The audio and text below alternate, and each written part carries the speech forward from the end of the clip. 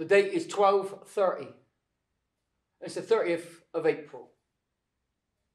The English, the British invade France. That was 800 years ago. In 800 years, you have not been in as much danger, as much trouble as you are in now.